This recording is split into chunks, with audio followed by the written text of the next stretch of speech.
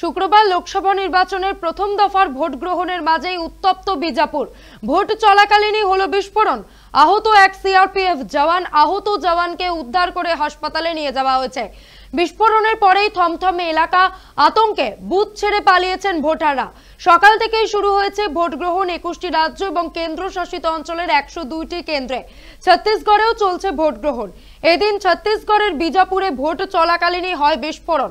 Duty করতে গিয়ে আহত হন সিআরপিএফ জওয়ান। আহত জওয়ানকে উদ্ধার করে বৌরমগড়ের হাসপাতালে নিয়ে যাওয়া হয়েছে।